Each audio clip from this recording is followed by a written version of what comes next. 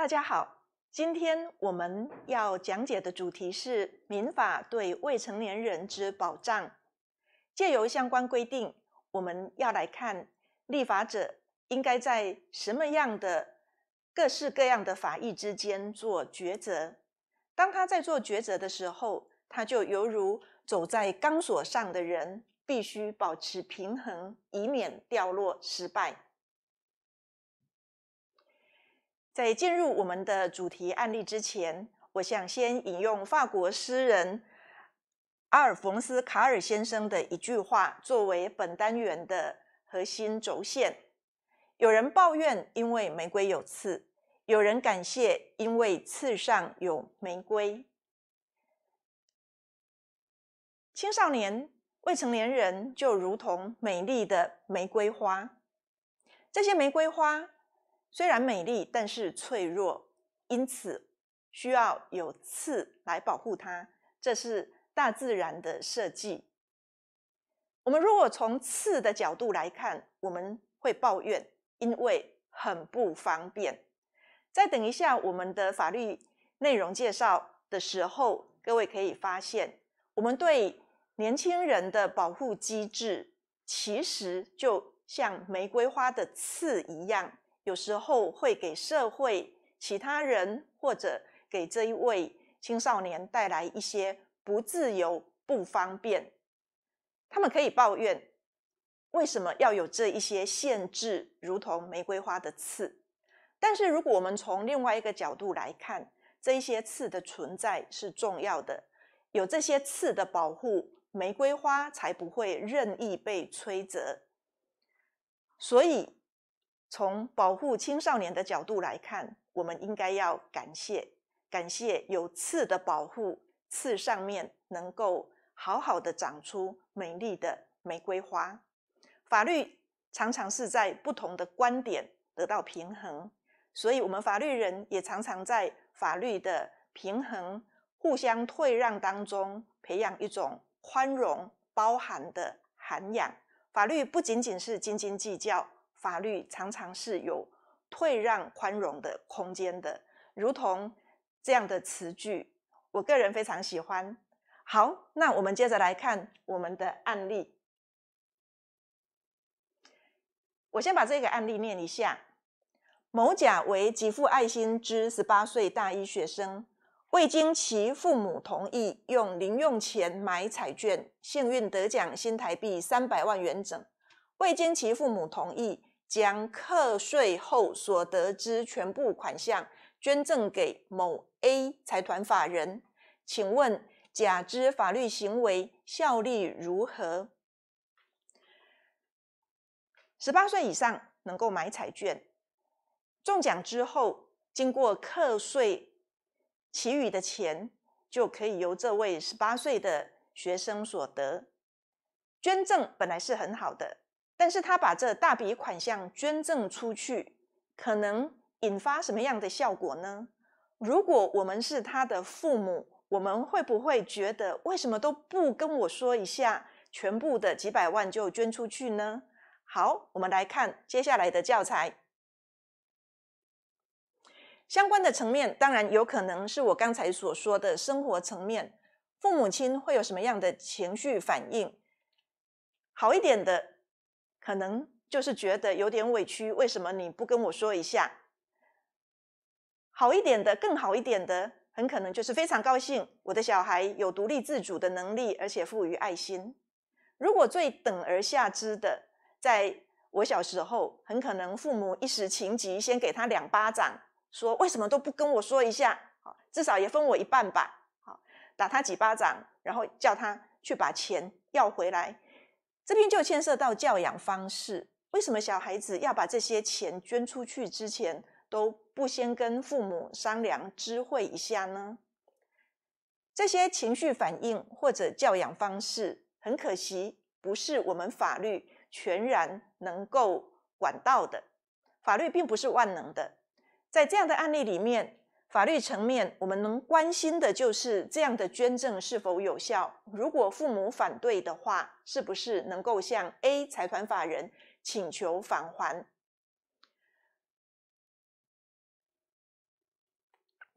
在这里就牵涉到十八岁，各位都知道是未成年人。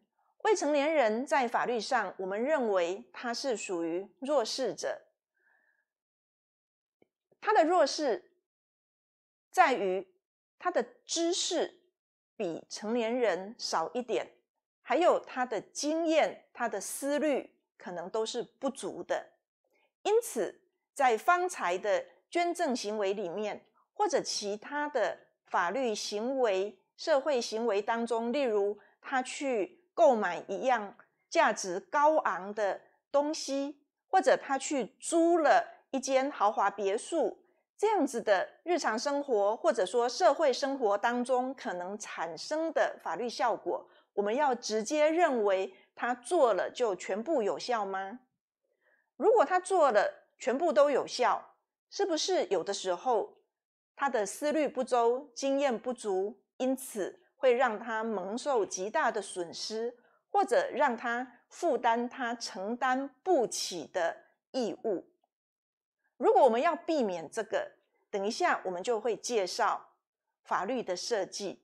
法律的设计其实很简单，就是要他的法定代理人通常是父母的同意。如果父母不同意，他所做的法律行为就无效。无效这件事情，其实。它会影响到的是整个社会的交易安全。比方刚才的 A 财团法人，如果那个捐赠无效，A 财团法人很高兴他得到一大笔捐赠，但马上被要回去，这个就是我们所称的交易不安全，就是不稳定。还有限制行为能力人也会觉得他的自由受到限制。如果自由受到限制，有可能他会觉得这是一件很不愉快的事情。好，所以当我们在保护未成年人的时候，我们是以牺牲交易安全、牺牲未成年人的自由作为代价的。这个牺牲不能太超过到令人无可忍受的程度。因此，在两者之间如何达到平衡，这就是法律要。思考立法者要努力达成的，也是我们这个单元要介绍的内容。立法者在第一层次的抉择就是原则性的抉择，当然他是要保障未成年人，所以未成年人的保障原则上优先于交易安全以及未成年人的自由。在这里，法律设计的保障制度就是行为能力。现在国家都有行为能力制度，它的定义是单独为有效法律行为之资格。凡是不需要经过他人的同意，自己能够形成有效的法律效果，这个就是所谓的单独为有效的法律行为之资格。法律行为在法律领域里面，我们常常会用很多时间详细的去讲它。但在我们这个单元里面，我们的重点不在法律行为本身。因此，我简单向各位说明一下，我们社会里面每一天几乎都在发生的买卖行为，或者租房子、租赁行为、搭捷运、搭火车。公共交通运输工具这一些旅客运送行为，旅客运送行为就是成立旅客运送契约啊，买卖契约、租赁契约、旅客运送契约这一些都是属于法律行为的范畴。当然，法律行为不止方才我们所举的买卖等等的例子，但是为我们的呃教材，各位能够初步理解什么是啊法律行为最常发生的太阳。这样子就可以了。好，那我们接着往下。我们的行为能力制度仿照德国的立法例，我们要区分什么样的人有绝对的行为能力，就是他不需要得到任何人的同意，他可以单独为有效的法律行为。那么我们的区分标准有两个标准，一个是用。精神状态看他是不是精神状态良好、经验充足、丰富，能够独立为有效的法律行为。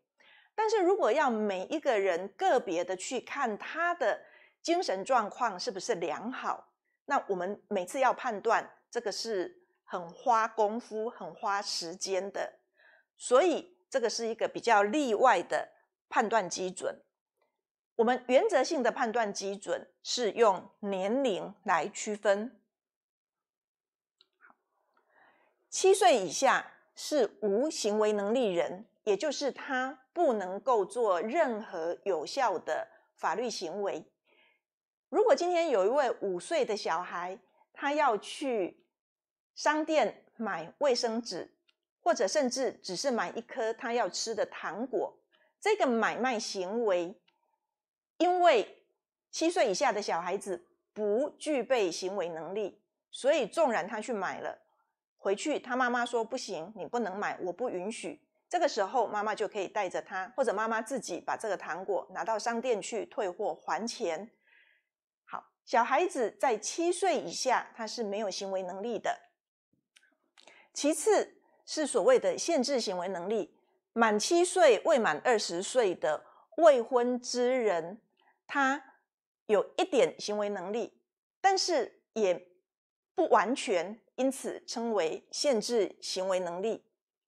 我们在整份讲义的重点其实是在限制行为能力这边。那最后有所谓的完全行为能力人，满二十岁以上之人，或者已婚的限制行为能力人。二十岁以上之人，我们认为他的知识、经验、思虑能力都充足了。已婚的限制行为能力人，因为他要过独立的家庭生活，所以我们都赋予他完全行为能力。也就是说，如果今天他去从事一个买卖行为，例如他买一栋房子，价值八百万，买错了，完全行为能力人他要对自己所有的法律行为负责，所以纵然他买贵了，买的地点不够好。离他上班地方太远，这些都没有办法，因为他是完全行为能力人，他对自己的行为完全负责。那我们方才说了，无行为能力人他所为的法律行为是无效的，所以父母能够随时更正。那么限制行为能力人呢？我们就往下来看，这里我们的法律有比较复杂的层次性的设计。在我们呈现文字之前，我们先来看我们这个投影片的配图。这个玫瑰花代表的是我们的未成年人，这里有很明显的刺，这个刺是用来保护玫瑰花的。这个刺就是我们的行为能力制度。我们的行为能力制度最主要规定在民法第七十七条本文。七岁以上未满二十岁的未婚青年，也就是限制行为能力人所为的契约行为，原则上按照这个条文的规定，应得到法定代理人之同意。经法定代理人同意，它可以是事前的允许，也可以是事后的承认。例如，十八岁的少年，他要去买一栋。八百万的房子，父母事先允许了，那么他的买卖就有效；或者他去买的时候没有征得父母的事前允许，买了之后父母说买的好，我们啊承认你的这一个行为好，那这个买卖也会有效。事前允许，事后承认，统称同意。那如果父母不同意的话，事前没有允许，事后也不承认，甚至积极表示反对，那么这个契约就会无效。好，所以我们再次强调，父母的同意其实就像玫瑰花的刺，这个刺有一点讨厌。年轻人想要做什么，未必他去做了就有效，但是这个刺。却是用来保护我们的玫瑰花的。如果这个房子真的买贵了，如果这个房子真的离他的上班地点或者上学地点太远，是一个不恰当的房子，这个时候只要父母表示不同意，这个契约就无效，他就不用去付这八百万买一栋不怎么恰当的房子。好，所以他虽然有点讨厌，可是他也是保护玫瑰花不可或缺的机制。以上是立法者原则性第一优先性的抉择，也就是未成未成年人之保障优先于未成年人之自由，优先于交易安全。方才那个买卖房子的契约，如果法定代理人不同意，就会无效。所以建商他就会觉得我到手的生意没有了，好，这个是牺牲交易安全。好，未成年人会觉得。阿公送我那么多钱，我现在要买个房子都不行，还要受父母处处的限制，好，他会觉得不自由。好，然而我们说，牺牲未成年人某一些层次的自由，牺牲某一些层面的交易安全，它是用来保护未成年人免于接受他不应该承担的义务，或者不恰当的一些社会行为。